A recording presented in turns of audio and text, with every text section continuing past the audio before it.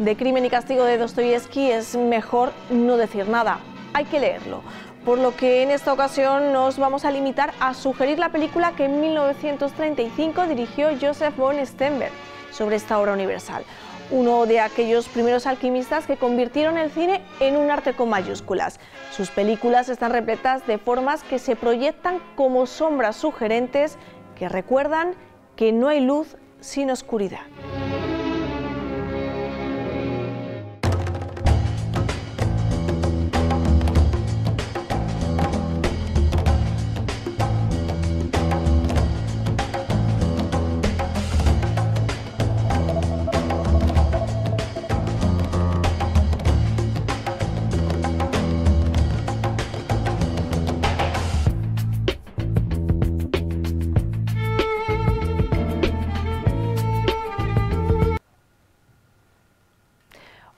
Vamos a ver una película que, como ya les adelantaba al principio, no hacía falta hacer, porque no hacía falta hacer eh, ninguna obra cinematográfica sobre crimen y castigo, porque tiene la suficiente entidad como para existir por sí misma. Pero un tal Joseph von Stenberg, en el año 1965, eh, no se le ocurrió porque le encargaron hacer esta versión y nosotros aquí todos los presentes nos alegramos mucho de que la hayan hecho, ¿verdad? Pues sí, la verdad es que sí.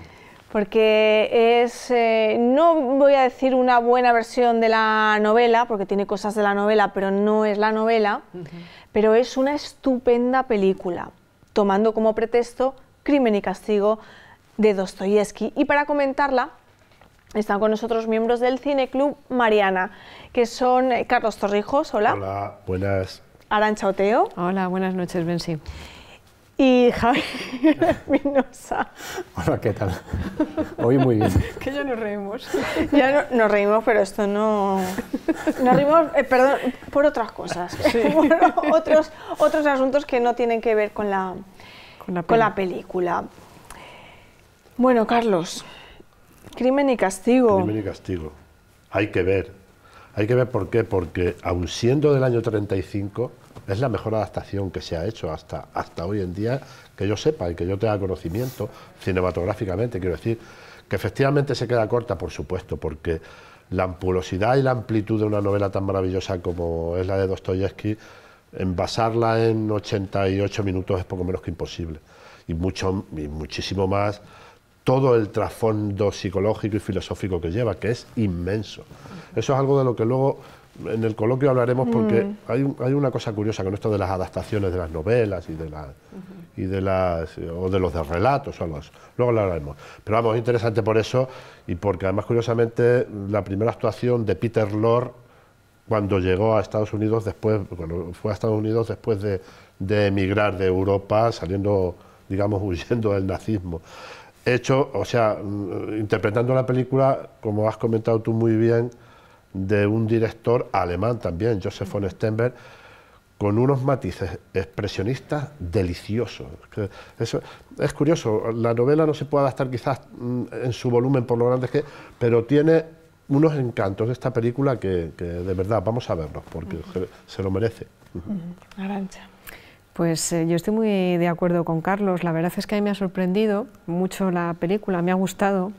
No es crimen y castigo y creo que ni falta que le hace, porque no, obviamente es que hay que obviar, mm, es como decía Carlos, es tan inmenso, sobre todo toda la parte profundísima del pensamiento y, ojo, y de la estructura de la novela en sí, ¿no? que es una novela bastante revolucionaria para su momento, no se puede plasmar en el cine, pero es que eh, la película que va a lo mejor a lo que es la acción, por decirlo de alguna manera, como le puede pasar a otras adaptaciones literarias como es el nombre de la rosa, ¿no? te quedas en lo que es la acción y te olvidas de todo el pensamiento, de todo, pero sin embargo con, con cuatro detalles, con la interpretación sobre todo de Peter Lorre que me parece inmensa, con sus miradas, con sus gestos, con un montón de cosas, tú ya estás captando mucha de la filosofía de la novela sin necesidad de utilizar eh, un, discurso ¿no? o un parlamento.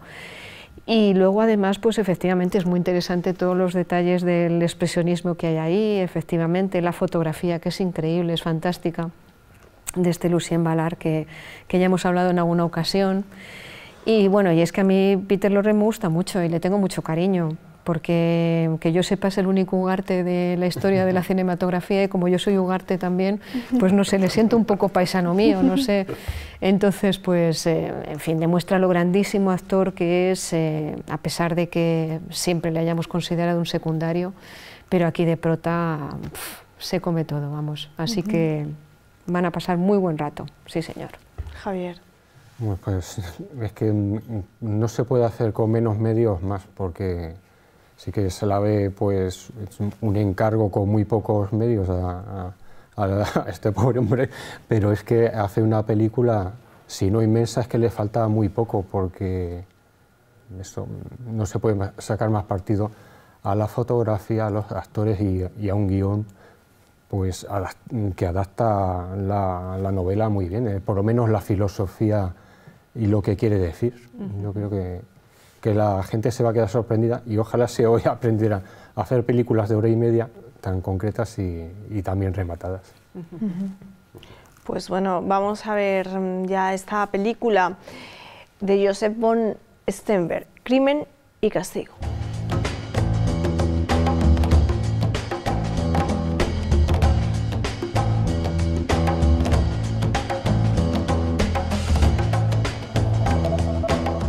Estamos de vuelta en el Callejón de las Maravillas después de haber visto una estupenda película del año 1935 dirigida por Joseph von Stenberg. Crimen y Castigo, basada en la gran obra de Fyodor Dostoyevsky. Y bueno, ¿qué os ha parecido? Aquí no hemos visto a Raskolnikov ir a Siberia, pero para, para, allá que iba, ¿no? Con Sonia. Para allá que iba. Y otras muchas, y otras muchas cosas, otros muchos detalles. Es lo que decíamos al principio, yo comentaba Quiero hacer aquí un comentario a raíz de esto. El otro día, mm, presentando la película La Diligencia, hacía yo un comentario que decía John Ford, el gran maestro, y es que le gustaba adaptar relatos cortos porque le daba opción como director a explayarse y poder ampliar que era un problema coger una novela grande porque al cine había que reducirla y eso le fastidiaba y sobre todo si la novela encima era grande grande en todos los sentidos y con fuerza, al director le hacía pequeño. Y por muy bien que quisiese hacerlo, no iba a llegar nunca a, la altura ni siquiera del escritor. Y en eso sí que tiene razón. Y pasa lo mismo con, esta gran obra, reducirla a lo que se ha reducido, pues hombre, se ha hecho lo que se ha podido y muy bien hecho por parte de Joseph von Stenberg, porque, eh, pero, pero claro, la amplitud tan grande que tiene la novela, no solamente en, lo que estamos hablando, en la filosofía, sino en el desarrollo, es dificilísimo, claro, llevarlo en, tan poco tiempo. Podría ser un encargo con mala idea para ver si tenía un tropezón, porque después de la anterior, la española, este, como era El diablo es una mujer, mm. Mm, esta es un encargo, yo creo, a mala, a mala idea para tenía todos los ingredientes para que fuera un fracaso, un encargo que no podía elegir ni el guion, ni los actores, ni nada. O sea, estaba atado de pies y manos. Y aún así sale airoso con muy buena nota. Mm. De hecho, Von Stenberg a partir del 35 no, no brilló mucho, la verdad, en el cine. Y había hecho verdaderas obras maestras antes. Pues mencionar una El Ángel Azul, ¿no? Del año 30, la primera película sonora europea. Sí, la verdad es que es, lo que comentaba Javier es importante. Muchas veces, eh, también pues por algunas pelis que hemos presentado últimamente en el, en el Cine Club, pues eh, ha surgido el tema de, de directores que tienen mala suerte, por decirlo de alguna manera que incluso aunque hacen una película brillante o muchas películas brillantes, pues llega un momento en su cinematografía que tienen mala suerte con una, que tienen un problema con la producción, que es un fracaso eh, en venta, o sea, en distribución, en lo que sea, y la película se va al traste. Y yo creo que Joseph von Stenberg, en cierto modo, fue uno de, estos directores, ¿no? Aparte de que, claro, eh, me da la sensación de que sí que estuvo muy eclipsado por su gran descubrimiento que fue Marlene Dietrich. La que se encumbró fue ella y el que se quedó disminuido fue él, ¿no? A mí, en cierto modo, me, siempre que veo Mm, el, ocaso de los dioses, ¿no? Sunset Boulevard, el, papel que hace, que, hace el, bueno, ¿cómo se llama? Eh, Joseph, también como es alemán, Joseph von Strömberg, el, otro director, este. El otro director alemán, ¿no? Pero que hace de Eric von Eric, ¿ves? Como no me salía, me salía Joseph, ya no me salía el Eric, que ya no decía bien los apellidos.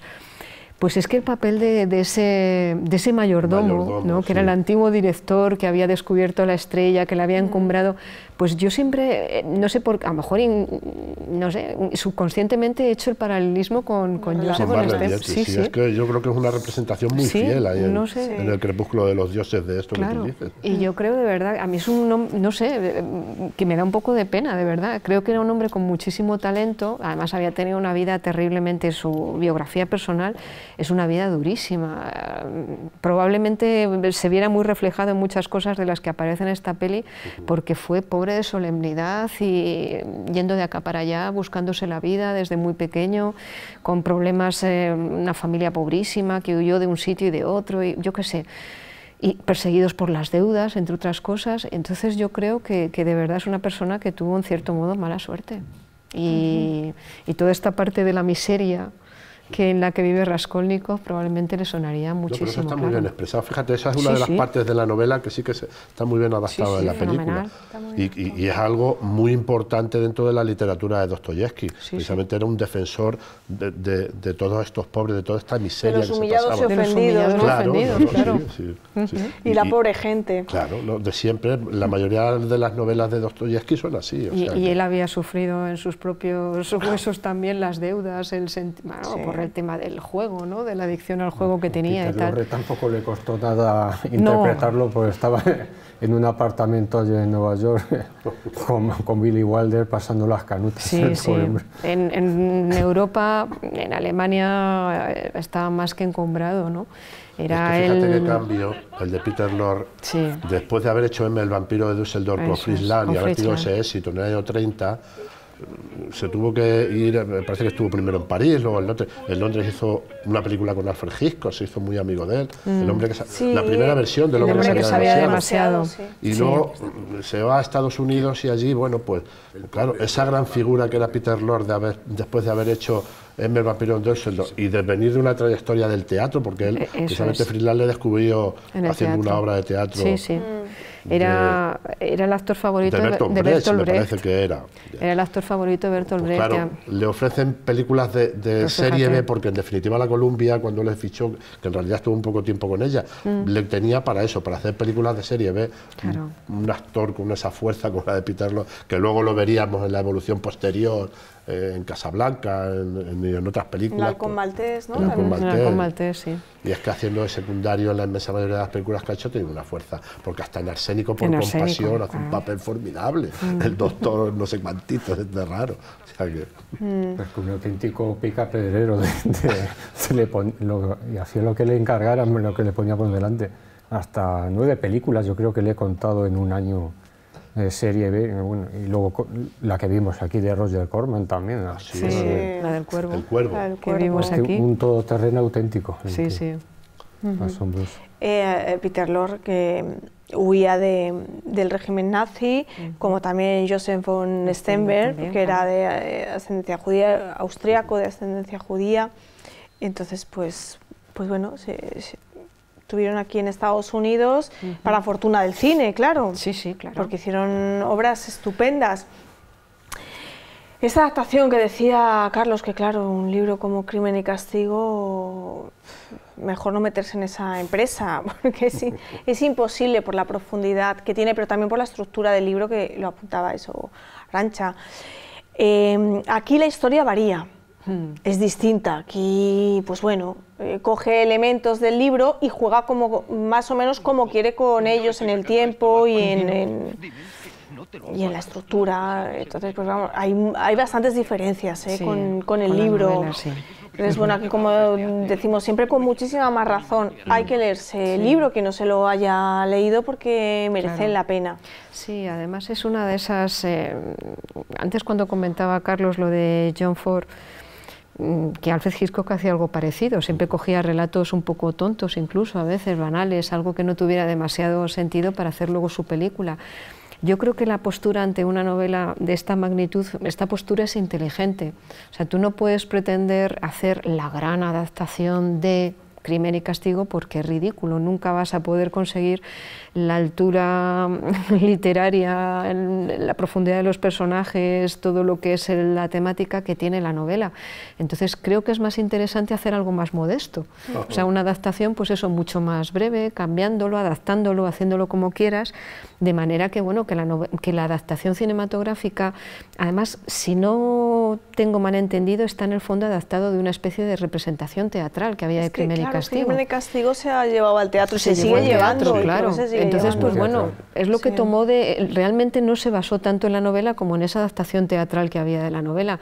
Y yo creo que eso es inteligente, porque es asumir hasta dónde podemos llegar con un medio y con otro.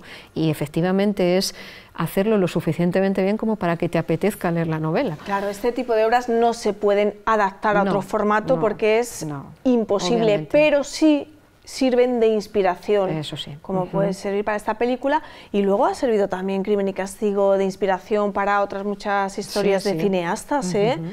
Bueno, y ha, tenido un montón de adaptaciones cinematográficas, la misma Crimen y Castigo, ya no otras eh, historias que se hayan podido basar en esto, ¿no? ha tenido muchísimas adaptaciones, muchas curiosamente en Rusia o en la antigua Unión Soviética, un montón de ellas, y yo creo que la gran mayoría desconocidas para, para el gran público. Pero desde luego esta, a mí me parece, como decía antes Javier, es que con menos medios, con, eh, con menos, mm, o sea, el sacarle el jugo que le saca a, la historia es increíble. Vamos. Eh, Woody Allen ha llevado Crimen y Castigo a su manera al cine sí, sí. en, alguna ocasión. ¿eh? en Delitos y Faltas. Point totalmente, claro. Y en Delitos y Faltas también, en cierto modo, claro. ¿En cuál? En varias, en Delitos y Faltas. Yo creo que también hay mucho de Crimen y Castigo. Y en Irrational Man también. Sí, eh, es que es una... Hay Crimen y Castigo un Claro, es que es una, es una novela fundamental entonces, pues es una de esas cumbres de la literatura que normal, si la has leído, pues te tiene que haber influido de una manera o de otra. Y si eres un creador, pues te tiene que salir por algún lado, no sé. Vamos a ver, el, el Raskolnikov este expresar desde el principio ser un prepotente y decir que yo me hago con todo, eh, porque la primera parte de, vamos, una de las primeras partes de la novela es eso, y aquí se ve muy bien en, detallitos, en el famoso cuadro de Napoleón y de Beethoven, como diciendo, yo es que aquí, vamos, independientemente de que soy inteligente a la hora de escribir, que soy muy bueno, es que me puedo permitir que lo que escribo llevarlo a la práctica y no pasa nada. Primera parte. Y segunda, nos vamos hundiendo, nos vamos hundiendo, nos vamos hundiendo, nos vamos hundiendo hasta llegar un momento en el que ya adoptas algo muy curioso que es lo que tiene con la novia, con Susi, cuando, cuando va a entregarse porque no, no sé, coge la faceta cristiana. Mm. Es que eso, claro, está muy presente en Dostoyevsky también. también. Coge esa faceta cristiana al final para desprenderse de toda, de toda esa prepotencia que tenía inicialmente, como que, que un ser superior que hasta podía con todo y al final queda. Es curiosísimo, eso sí que yo sí que lo veo bien reflejado a través sobre todo de la interpretación de Peter Lorre, vamos, ¿no? Mm, sí, sí está el, mundo intelectual frente al espiritual, eh, la razón de alguna manera frente a la fe, que en algún momento llegan a, a, unarse, pero que parece que están enfrentadas en la obra de, de Dostoyevsky. Sí, y... aquí, aquí lo muestra muy bien. Em, la casa de la usurera, todos los mm. símbolos religiosos que tiene, ¿eh? que está llena de símbolos de, pasajes de la Biblia, del Evangelio, los crucifijos, imágenes sagradas. El despacho del comisario también. El despacho del la sombra de siempre del crucifijo, o del el águila del fara y la, sombra. Y luego en contraposición, el cuarto de Raskolnikov con, con, símbolos poco paganos que para él son como dioses, Napoleón, Beethoven, eh, grandes eh, pensadores, intelectuales, creadores pero más aferrados a lo, a lo, a lo, humano, sí, sí. en principio, ¿no? a los logros humanos, sí, sí, sí. más que a los espirituales, y al final lo que llega a Raskolnikov es a un logro de, del espíritu, del alma, en la novela y aquí. Pero que, fíjate, estaba pensando ahora que ese mismo tema de creerte en el eh, superior como para poder eliminar aquellos parásitos de la sociedad, también se ha tratado en otras pelis, eso aparece en La Soga, por ejemplo, ¿no? Y bueno, pues en el sur, claro. En el, Sí, y Es en- es muy similar el Claro. tema de lo del... y en el, con, bueno, ojo, hay uno de ellos que sí que tiene culpa, pero el otro en absoluto. El otro está encantado de la vida, de haberse cargado al amigo y, haber, y encima estar ahí, tenerlo, el cadáver en los postres, ¿no? Como decía en la peli. Eh, es un bueno, y en el superhombre de Nietzsche y en un montón de, de Ah, que- historias más. Es que Entonces, eran eh, corrientes de pensamiento que estaban en boga en, el siglo. XIX. Lo que pasa que eso, que, que la creación literaria de, o sea, a ver, el superhombre es filosofía, por decirlo de alguna manera, pero es que el gran mérito de, obviamente, de Dostoyevsky es poner todo eso en una novela, ¿no? Y en una novela tan revolucionaria y tan impresionante como es Crimen y Castigo. Y, y- y el de las adaptaciones, o al menos de esta adaptación, es hacerlo en una manera mucho más modesta y, sin embargo, transmitirnos esas ideas esenciales. Y ¿no? parte de la esencia de esa eh, espiritualidad y el mundo de los sueños, que también aparece mucho Sí. en la novela de Dostoyevsky. Ese mundo de lo irracional, que es más racional de lo que creemos, el mundo de los sueños, que está aquí muy bien expresado a través de las herramientas del expresionismo. expresionismo, Claro, claro. es que eh, sirve muy bien a la causa. Claro. Las Pues es luces que y las sombras, todo. le, le da mucha vitalidad. Todas esas historias de, de las escaleras, que lo de las escaleras aquí es maravilloso en esta película, es formidable. Que, que Con- las escaleras son fundamentales en la novela también, También. claro, y aquí saca un partido. Pero es que eso ha pasado mucho siempre, lo de las escaleras en las películas expresionistas, siempre, Totalmente. con esos contrastes entre luces y sombras, entre claridad y oscuridad. Eso es fundamental. Y- Esos y- peldaños enormes que dices, Dios mío, ¿cómo puede estar bajando? Si esta escalera es así, empinadísima, sí. Y, y va bajando a esa velocidad y ves la sombra, es increíble. Eso es, Es una atmósfera onírica toda, la, toda la película. Claro, Está sí, sí, sí. El plano final donde Peter Lorre ve la luz, digamos. Pero, Y al final, claro, es que está hablando de la salvación del es alma. una transfiguración. Es una, es una redención, una, habla es, em, está relacionado con la trans- trascendencia. Entonces, claro, las luces y las sombras le va Luego el fenomenal. cine nos ha explicado muchas veces lo que, cómo era un asesino que tuviera remordimientos o no. Lo ha explicado a través de la psicología y de la psicopatía. Antes lo, se le podía, en el siglo XIX, mm, explicar como un superhombre. Luego la, la psicología ya nos ha dicho, no es un superhombre, es un enfermo. No, no es al contrario, no es un enfermo, Es un alguien sin, sin conciencia. Pero yo creo que no es el caso de para nada de Raskolnikov, ¿no? Aquí no, es ningún psicópata. Por eso lo acaba pagando. Claro, por eso lo Claro. acaba pagando Es- Él es su porque, propia prisión. claro, final. espía, Es su espía su, conciencia culpa. la que le hace pagar todo. Ese es su gran castigo, obviamente, nosotros. Aquí también aparece una cosa curiosa en esta eh, versión de la novela y es que, bueno, transcurre en, en Rusia porque vemos eh, bueno, los símbolos del águila de los zares, ¿no? La águila, esta bicéfala de los zares. Y, y, bueno, aparecen per- periódicos con letras en ruso, aunque otros aparecen con letras directamente Sí, en sí. inglés, con los textos en inglés. Pero cambian los nombres de los protagonistas, los, eh, bueno, eh, los convierten en anglosajones. Sí. Porque, bueno, Raskolnikov el apellido lo dejan, pero no se Pero llama Rodia, se llama Roderick. ¿no? Claro. O Roderick, Roderick, Roderick. Roderick, sí. En lugar de Rodia, bueno, Sonia porque es La más... hermana es pero la, Antonia la la hermana en la novela, Antonia. si no me equivoco. Pulqueria, O que es la madre, y aquí no es. Pulqueria, o sea, sí que cambian los nombres, sí.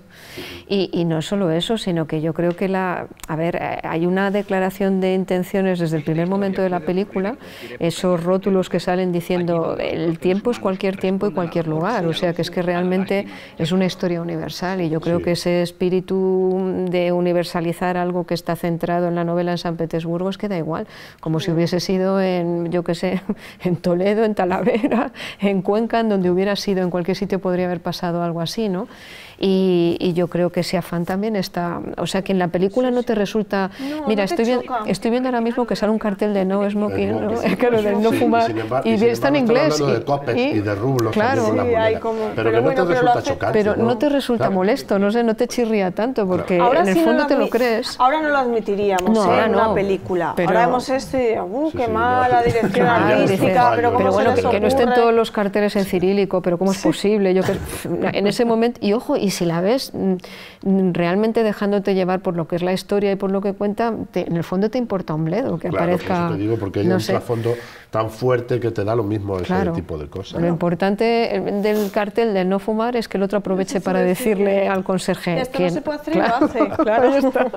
Entonces, pues, ¿cómo no voy a poder hacer yo, que soy superior a ti, lo que me viene en gana, ¿no? en fin. y otra cosa más, van vestidos de los años 30. aquí no van de mediados del siglo XIX, ¿eh? No, que va. que había.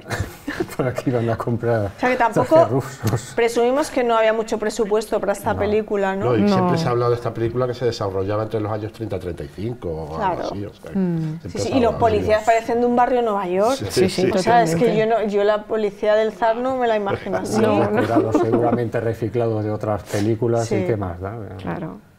y desde luego el policía tiene poca pinta de ruso, tiene más pinta de, no sé, incluso de un banquero americano. Pero porque ese actor ha hecho de banquero americano, claro. ¿No es el de ah, Qué bellos vivir? Sí, es el banquero. De... Sí, sí. sí, ¿Es el banquero de Qué bellos vivir? No, no es el banquero. No, no, es el banquero. Es el, el de eh, Vive como quieras. El de Vive como quieras. Vive como quieras, el padre de James Stewart. Eso es, eso es. que hace de empresario, de banquero. Sí, sí, sí, sí, por eso. secundario de esto. ¿Tuvo algún... Eterno secundario con puro, que aquí no saca puro, no sé por qué. Yo a este hombre siempre le veo con el puro. Algún papel protagonista, pero fue etiquetado como veneno para la taquilla y ya fue secundario toda su vida. Aparte que tiene su una cantidad de películas de la barbaridad, sí, sí. como secundario. Sí, sí, sí. Luego Peter que aquí todavía estaba mm, pues mm, orondito, estaba porque luego adelgazó mucho, ¿eh? Peter Lorre, luego su físico cambió mucho, sí. Cambió mucho, ¿verdad? A lo largo de los años. Luego cuando era más mayor volvió a estar gordito, pero fue fue cambiando el físico bastante. Y claro, al principio lo ves como Raskolnikov, para quien se haya leído la novela, es como, uff, pues no, no, no, cuadra. No cuadra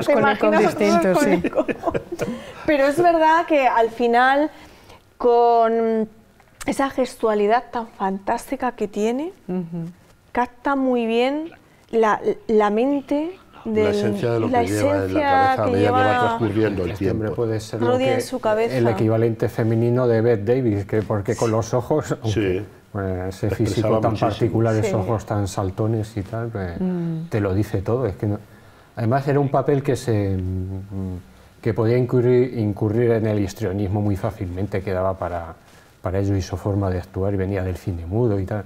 Y yo creo que está bastante comedido. Que, bastante asfeta en el tema interpretativo. Sí. No, pero es que es muy expresivo. tiene un, tipo bajito con esas caras, ojos tan, saltones, parece que no, pero se le ve muy expresivo, sobre todo en esta película. Esta película con pocos movimientos y poco, En las pelis finales de Roger Corman y tal, ya estaba como un poco desatado, aquí está como bastante mm. comedido.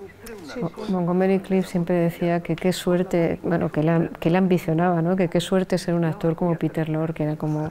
Y es que yo creo que el problema es eso, que lo asociamos un poco a esos papeles secundarios que ha tenido, pero es un grandísimo actor. Yo hay una escena del halcón maltés que que, de verdad yo creo que en el halcón maltés cada vez que, sales mm, acapara toda la atención, no te fijas ni en Humphrey Bogart ni en nadie, no sé, es algo increíble y hay una, claro, como es un papel que supuestamente es amanerado, pero no podía tampoco pasar como un homosexual, total. Hay, un, hay una escena en la que está jugueteando con un bastón y pasándoselo por la boca. y tú estás diciendo, bueno, no hace falta que digas nada más, ¿no? Al buen entendedor que entienda. Y no dice nada. Está observando, está mirando, habla en la conversación de vez en cuando, pero que realmente está, está observando la escena. Y dices, Dios mío, ¿cómo este hombre era capaz de nada, con, eh, porque hay momentos en que se pasa la película sin que aparezca por ningún lado y de repente aparecen dos minutos, tres, cinco, para... Y dices, ¿y cómo es posible tener tantísimo talento y con tan, pocos, mm, tan poco tiempo para lucirse que se luzca tanto y que lo haga tan bien? O sea, a mí me parece un actorazo, de verdad. Lo que pasa que, bueno, él se murió con las ganas, era su papel soñado y además en esta peli hay cantidad de, de encuadres en los que lo parece. Le habría encantado hacer de Napoleón Y ojo, el físico Ah, mira, daba de. Napoleón. el, el físico Sí, daba de Napoleón, el- el- pues que era muy alto, esa Bueno, era, cabeza. ma- era esa- más alto de lo que Sí, dice bueno, ya, Napoleón, pero ¿eh? tampoco Pero- era un gigante, a ver si me entiendes. No, No, pero no- no era, era era tan alto para la bajito. época porque en la época Claro, tampoco o sea, eran muy altos, por pero eso, bueno. Por eso que claro, que no era tan bajito Y, para y la época físicamente Napoleón. sí que, y yo Sí. estoy convencida de que habría sido un grandísimo Napoleón, que ya ves tú, luego lo ha hecho... Lo hubiera pillado unos años antes, que también se le quedó con las ganas de, Sí, sí. Napoleón. Pues habría sido fantástico probablemente, habría sido un papel de esos increíbles. Sí, porque vamos, sí, haciendo sí. papeles a veces casi anecdóticos, Sí, te porque quedas loco. Esto que va de personas, hombres extraordinarios o, o corrientes, desde luego Peter Lorre era extraordinario. Sí, sí. No era nada corriente. Además, una cosa curiosa, y una anécdota que no. Pero Peter Lorre murió con 60 años, 59, los mismos que Dostoyevsky. También murió con 60 años. Una anécdota curiosísima. Muy, muy jóvenes, ¿eh? Sí. Claro, sí. Eran, eran jóvenes. Bueno, os voy a pedir ya escena, secuencia. Yo me quedo con lo que comentaba antes. Es que las escaleras en esta película para mí son muy reveladoras. Y eh, es la, la muestra palpable del expresionismo ese que ha traído Joseph von, St- Joseph von Sternberg de, de Alemania al cine americano, que luego se vería a lo largo de otras muchas películas, no con este director, sino con Fritz Lang o con Sí. algunos otros. Pero es que aquí es que tienen una fuerza las escaleras desde el primer momento que salen, que salen ya desde el Sí, sí. principio. o sea, tienen una fuerza impresionante. Para mí me encantan. o sea, esas escaleras con los claros y oscuros. Es que no creo que haya imágenes con más fuerza en esta película que exprese tanto simplemente con la imagen que es, independientemente, por supuesto, de la cara de Peter Lorre. pero bueno, es que la- las escaleras son tienen una fuerza inmensa. en Es verdad película. que, que se ven enormes. Son muy, claro, aparecen a un tamaño. Y las escaleras no las. Hombre, las escaleras sí, pero los barrotes esos de las escaleras, eso es que le dan Que más también se proyecta la Y- sombra. Y estás viendo la, el- la proyección de las sombras al- por, la, por la sombra. Sí, de- sí, la sí. sombra. es un cachito de nada. Y claro, nos fijamos, no hay eh, muchos escenarios distintos en esta película, ¿eh? No, hay muchos, No, hay... Un estudio con cuatro habitaciones. y- Claro. Sí, sí. Y sin embargo, fíjate, lo- los pasajes con Sonia, que aquí, bueno, claro, no dicen nada, pero Sonia es prostituta. Y bueno, en sitios en el que, es es que, no sé, no hay mucho... No se ve, ¿no? Y que se ha compartido. Pues Muy pocos es que Increíble. haber, Y muy pocos actores, es verdad. Claro, muy claro. pocos Cualquier cosa que encareciera eh, la película se la quitó del medio. Sí, sí, sí. Está, está fenomenal. Extrañísimo. Arancha. Pues a mí me gusta mucho y además me parece muy divertida la escena del supuesto pretendiente de la hermana al que le rompe el sombrero y toda la historia. Esa escena casi es un poco de vodevil en medio de una, de una película tan intensa, ¿no? Y, y esa gestualidad, ¿no? no sé, me encanta. Cómo deja en ridículo a ese... Él puede ser prepotente por otros motivos, pero es que al Panoli ese que viene a redimir a la familia, a sacarla de la pobreza y a decirles encima que tienen que hacer, que está bien, que no, no, eres un caballero, porque hoy es que me encanta el Y no rapapolvo hablar que... Ni a la hermana con el hermano. No, no, claro, ahí está, pues imagínate. Y no ha entrado siquiera. es que a mí, me, a mí me parece genial, me parece que está muy bien ahí, eh, porque además es divertida, los Sí, gestos. Y el- además es que tiene razón. Y claro que tiene razón, ¿qué claro, y diablos? dan ganas de aplaudir. Pero, Muy pero, bien. pero rompe un poco esa, eh, porque es una película muy, pues eso es lo que decíamos, muy Mm. intensa, ¿no? Es una película en la que hay muchos momentos de tensión, de angustia, de, eh, pues, por la misma del protagonista, pero también por las situaciones tan extremas en las que están los demás, ¿no? O sea, esta pobrecita que ha perdido el rublo y que el otro tiene que hacer el- el- el- la escena, la pantomima para... No sé, estás viendo a la gente con tantísima miseria y que este tío llegue así, pues está muy bien que le vapuleen de esa manera. ¿Qué quieres que te diga? sí, sí. Así que a mí esa escena me gusta mucho. Sí, señora. Muy bien, sí. Javier. A ver. No es la primera escena, pero es de las primeras. Me gusta mucho cuando Raskolnikov está leyendo su, su artículo en el periódico y con mucha dignidad lo dobla, lo mete en el zapato para tapar el agujero y se ve la miseria de, de la habitación, el retrato de Napoleón y, y de Beethoven. Yo creo que, que en un minuto no te, no te puede decir más cosas sin decir ni una palabra casi. Es que el cine clásico, con, lo- con la sencillez que le, que le caracteriza muchas veces, no hace falta ni, ni decir ni hacer muchas cosas. Con cuatro imágenes te ha contado mucho más que muchas películas en dos horas a lo mejor. Claro que sí. Con una sencillez absoluta. Y eso no cambia, ¿eh? La, No. la- la- la miseria que tienen que soportar la mayoría de, de personas que se dedican a escribir, ¿eh? los escritores. Sí, sí. No, necesita eso- ni eso es así. en off, ni, ni grandes... Ni grandes efectos, ni grandes... Nada. Ni que te cuente mucho.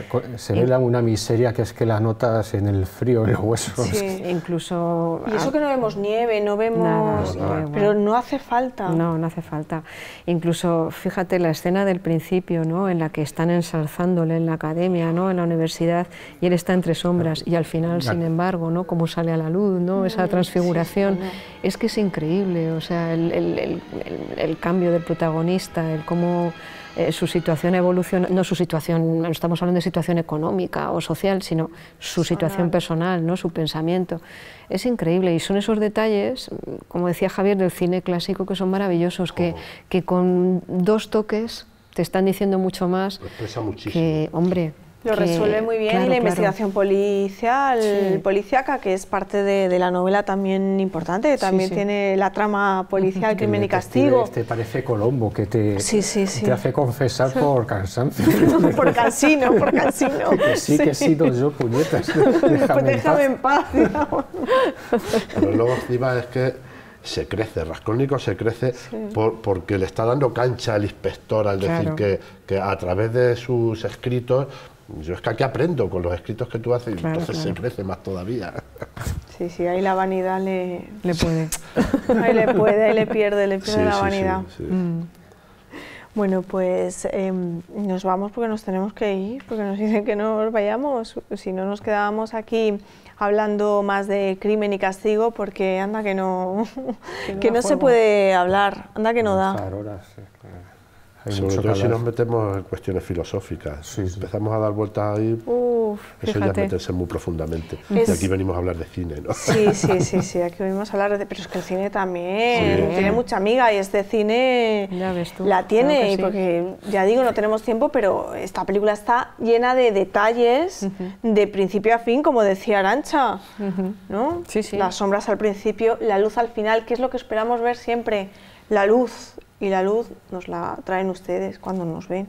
Si no nos ven, estamos apagadísimos. Hasta la próxima semana.